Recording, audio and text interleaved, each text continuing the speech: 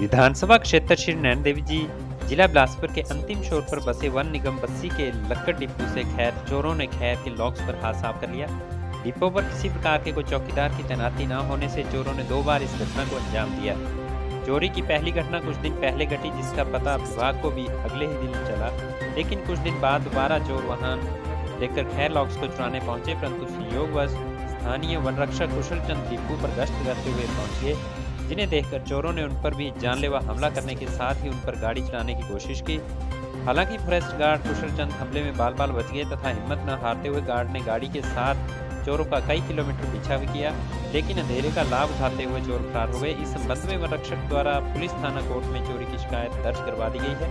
उधर खैर लॉक्स चोरी का पता चलने के बाद मंडल डीएम ने एक कमेटी का गठन करके डिपो की लॉक्स की गणना आरंभ कर दी है, ताकि लॉक चोरी के असल आंकड़े सामने आ सकें। बताया जा रहा है कि खैर के चोरी के यह लॉक्स 300 से 400 की संख्या के आसपास हो चुके हैं, क्योंकि यह इलाका पंजाब सीमा से सटा है, इसलिए वनरक्षकों ने डिपो पर चौकीदार तैनात करने के साथ ही उनकी जान माल की सुरक्षा के लिए भी उचित इंतज़ाम उठाने की मांग की है। मैं कुशल चंद बस्ती रोड साइड टीपू का इंचार्ज कुशल चंद बयान कर रहा हूँ कि दिनांक दस दस दो हज़ार इक्कीस को, रात को किसी चोरों ने यहाँ से खैर की लकड़ी को चोरी किया। हमें ग्यारह तारीख को पता चला कि रात को चोरी हो गई है। और चोरी करने के बाद मैं अकेला था और मैंने अपने बी साहब को फ़ोन किया और रात को जाके हमने, जाके थाना में एफ़ आई आर लॉज करवाई, एप्लीकेशन दी। और उसके बाद पुलिस वाले बारह तारीख को यहाँ आए और उन्होंने मौका देखा और बोला कि चौकीदार कौन है? तो उन्होंने बोला, चौकीदार नहीं है। तो उन्होंने बोला तो हम इसकी एफ़ आई नहीं करेंगे। और वो वापस चले गए। उसके बाद वही चोर पंद्रह तारीख को रात को फिर चोरी करने के लिए आए और मैं डिपो के ऊपर गश्त करने के लिए निकला था और मुझे वो डिपो के ऊपर लकड़ी उठाते हुए मिले और उन्होंने मेरे ऊपर जानलेवा हमला किया और मैं अपनी जान बचा के अपने मकान मालिक के पास पहुँचा और उनको जगाया और उन्होंने मेरा साथ दिया और उसके बाद वो गाड़ी वाले आए। उन्होंने मेरे ऊपर गाड़ी चढ़ाना चढ़ाने की कोशिश की, मगर मैं बार बार बच गया और वो गाड़ी लेके भागे।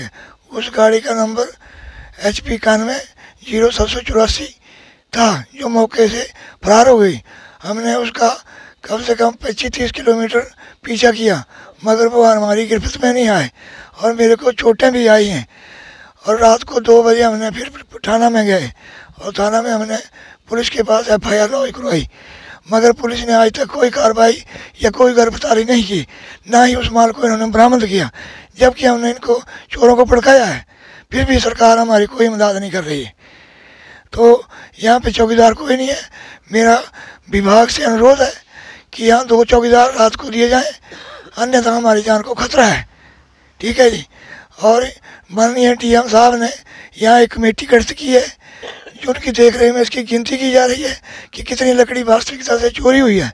उसका प्रॉपर गिनती करने के बाद ही पता चलेगा कि कितनी लकड़ी चोरी हुई है। ये और यहाँ पे एक सेट बनाया जाए और बिजली का बंदोबस्त किया जाए और दो चौकीदार रात को दिए जाए, ताकि जान माल की सुरक्षा हो। और मेरी जान की सुरक्षा जो है, वो विभाग जाने, करे। यही मेरी सरकार से और विभाग से अनुरोध, प्रार्थना है।